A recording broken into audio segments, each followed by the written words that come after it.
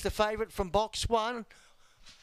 Six out of these eight greyhounds are debutantes, and Transient is one of them.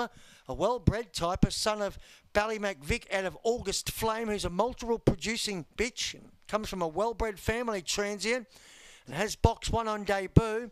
Go Girl, the second on, also coming from a well-bred family out of a winning bitch, Aussie Diamond, who's produced plenty of winners over many seasons for trainer Ned Snow. And they're at opposite end of the boxes in their first and second favourites. As Alua rolls, set to go.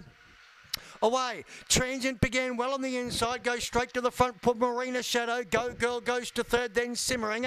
After that was Just Beat It, then Seldom Frosty, Octopus, and this time Buddy rounding the bend. Well out in front, Transient. Go Girl runs to second, then Simmering, but Transient goes all the way. Transient by two, beating Go Girl. Three lengths away, third was Simmering. Fourth, this time Buddy, just in front of Seldom Frosty.